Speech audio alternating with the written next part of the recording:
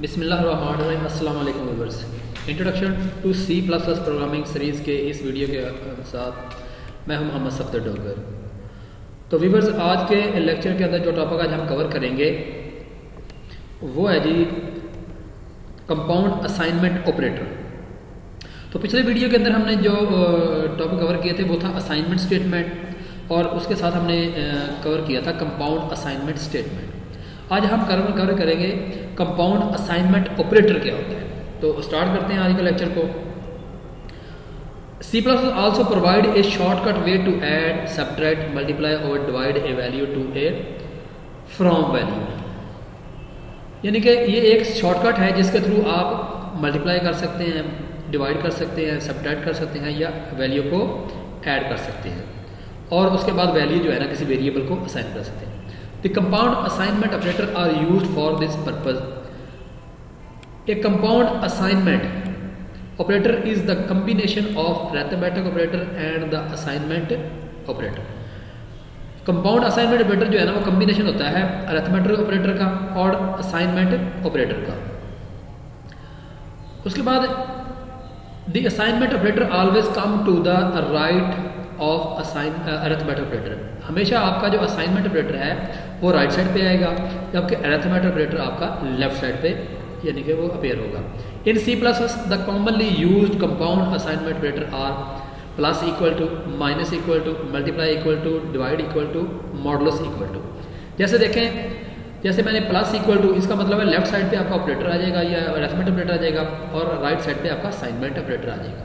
इस तरह left side पे आपका माइनस ऑपरेटर है और राइट साइड पे आपका कंपाउंड सॉरी असाइनमेंट ऑपरेटर आ रहा है। तो ये पाँच जो है ना हमारे कंपाउंड असाइनमेंट ऑपरेटर के तौर पर यूज़ हो रहे हैं। अब इसका सिंटैक्स देख लेते हैं। सिंटैक्स में होता है वेरिएबल उसके बाद ऑपरेटर असाइनमेंट स्टेटमेंट उसके बाद आपकी कोई एक्सप्रेशन आ सकती है। जैसे मैं कहता हूँ int n is equal to ten है। एन की वैल्यू कितनी है? टेन है। मैं आगे लिखता हूँ n plus equal to five n plus equal to five यानी कि एन कंपाउंड असाइनमेंट ऑपरेटर आ रहा है, और उसके बाद हम फाइव कर रहे हैं। ये किसके बराबर होता है? Is equal to n is equal to n plus five mean के ये क्या कह रहा है कि एन की वैल्यू में मजीद फाइव को ऐड कर दो, और उसका जो रिज़ल्ट आए, उसको किसको दे दो?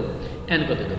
इसी तरह n minus equal to five ये किसके बराबर होता है? N is equal to n minus five इसी तरह जैसे ये वाला है तो इसमें क्या आ जाएगा? N plus sorry n is equal to n plus five यानी कि एन की वैल्यू टेन है। टेन में फाइव ऐड करेंगे तो कितना हो जाएगा? फिफ्टीन इसमें असाइन हो जाएगा।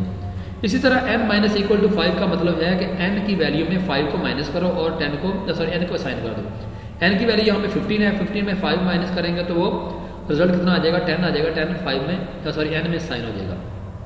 N multiply equal to n multiply equal to five किसके बराबर होता है? N equal to n multiply by five ten multiply five fifty fifty इसके अंदर एन के अंदर स्टोर हो जाएगा। इस तरह n divided by equal to five is equal to n equal to n divided by five n modulus equal to five is equal to n is equal to n modulus five के बराबर होता है।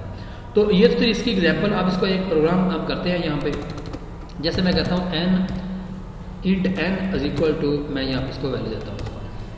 सी out यहाँ पे मैं n की value n equal to n की value जो है ना, मैं यहाँ पे शो कर देता हूँ